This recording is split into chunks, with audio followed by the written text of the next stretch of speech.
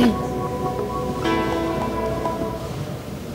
A pesar de que ayer las principales plazas internacionales cerraban en zona de soporte o en algunos casos, como en el SP500, perdiéndolos, hoy parece que los principales selectivos se recuperan. Vamos a analizar la situación técnica del mercado con Miguel Rodríguez Bonet, director de formaciontrading.com. Bienvenido, Miguel, ¿qué tal? Hola, Rocío, buenos días. Pues si le parece, comencemos por los índices. Ayer teníamos salió 35 justo cerrando en zona de soporte, esos 9.700 puntos, eh, al SP cerrando por debajo del primer soporte que encontraría en torno a 1.770 puntos Hoy tenemos al IBEX 35, bueno, a principio de la sesión perdiendo ese soporte, ahora recuperándolo, al SP todavía no sabemos porque no ha, abierto Wall Street, pero ¿qué situación técnica nos deja esta entrada y salida por debajo de? Bueno, hoy los futuros americanos vienen subiendo, o sea, en principio vendrían rebotando los americanos después de la caída de ayer.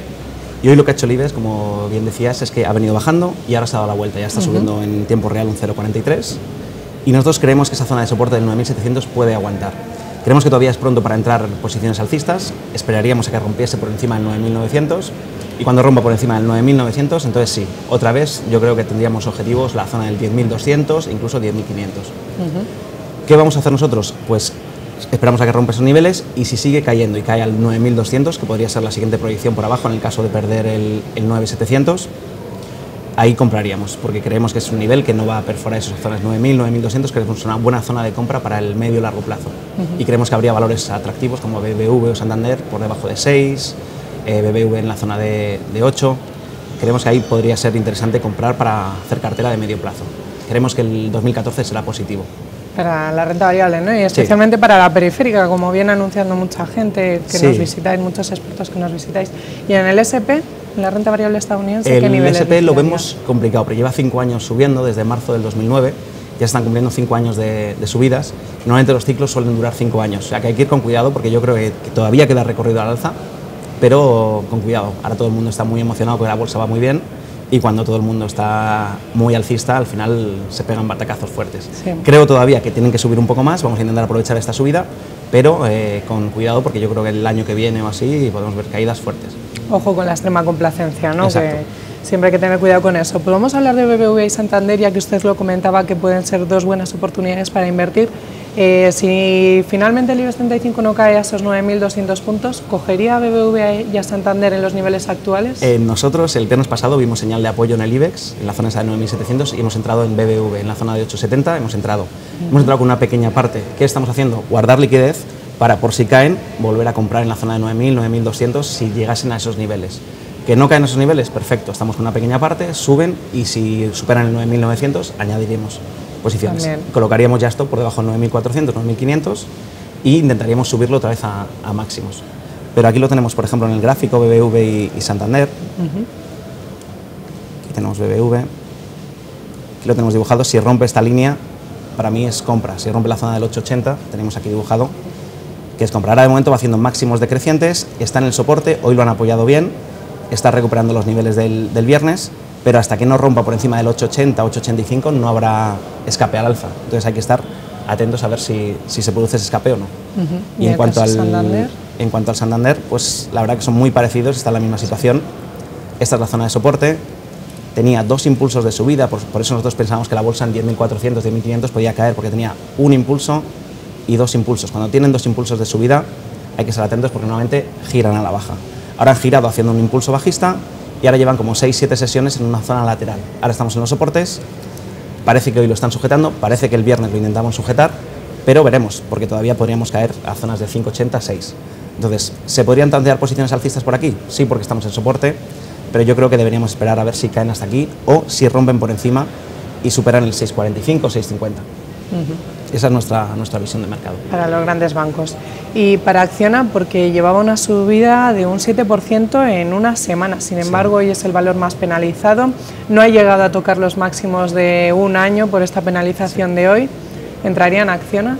Acciona nos gusta, era muy bajista hasta hace unas semanas y ha empezado a ser tendencia alcista. ¿Qué ocurre? El otro día subió un 6%, es normal que ahora también corrija. Aquí la tenemos en, en pantalla.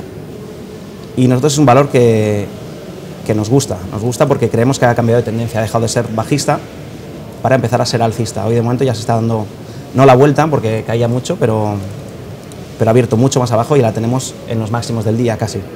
Si vemos la tendencia de largo plazo, vemos que es una tendencia totalmente bajista. pero aquí en esta zona de 40 parece que empieza a hacer un suelo, un suelo de largo plazo, y esto podría girar, y yo creo que la veremos en zonas de 50 o, 55 euros en, en el corto plazo. Colocaríamos un stop por debajo de esta línea y siempre que esté por encima de esta línea mantendríamos posiciones alcistas. Y hoy yo creo que es una buena oportunidad para, para tantear posiciones alcistas, puesto que estamos otra vez de nuevo en soportes. ¿Por dónde pasa esa línea donde pondría usted Por el 45, stop? 45 La línea pasa por 45, el stop habría que ponerlo un pelín más abajo, un dando siempre filtro, un, pequeño filtro. ¿verdad? Si hacemos Fibonacci, desde estos mínimos hasta los máximos de, de ayer, pues pasaría por 42,67 el, el nivel. Pues yo creo que en esa zona 42, 43 debería estar el, el stop. Y los objetivos estarían aquí en la zona de 55 o 60, volviendo al origen de los máximos de, de enero del 2013.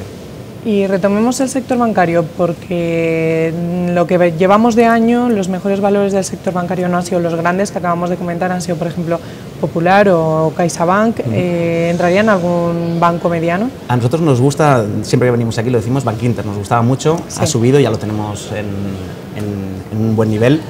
Ahora yo creo que hay que esperar, porque están muy arriba, han subido mucho, yo creo que habría que esperar alguna corrección para volver a entrar o bien si se superan los 9.900. Nosotros entraríamos en bancos sin, sin problemas si se superan los 9.900.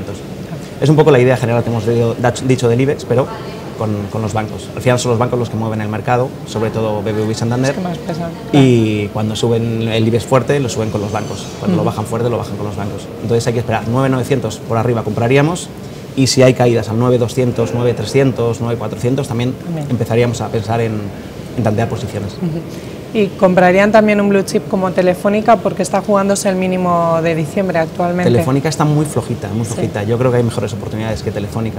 De momento yo creo que están utilizando de termómetro para parar el IBEX, pero ha caído muy fuerte y está ahí en la zona de soporte del 11, 11, 20. Uh -huh. Y hasta que no rompa el 11.50, para mí Telefónica no. Nos olvidamos no de ella de momento. Pues entonces, ¿en qué valores nos fijamos? Nosotros nos gusta mucho Adidas. Adidas en el mercado alemán, lo podemos poner en el gráfico. Nosotros entramos ayer y hoy parece que está recuperando algo. Y creemos que es un valor que ha sido demasiado. le ha castigado demasiado y creemos que tiene recorrido hasta la zona 86-88. Ahora mismo cotiza en 82. Nosotros entramos ayer en estas zonas de 82 más o menos. Hoy ha caído un poquito, pero ya se ha dado la vuelta y creemos que lleva mucha caída y que ahora el, el recorrido debería llegar aquí al 86-88. Así que entraríamos en Adidas con stop en 78 más o menos. Pues nos quedamos con esta recomendación. Miguel Rodríguez Bonet, director de formaciontrading.com. Muchas gracias. Hasta la próxima. Muchas gracias. Y ustedes recuerden que pueden ser informados de la actualidad económica en nuestra web, estrategiasdeinversión.com.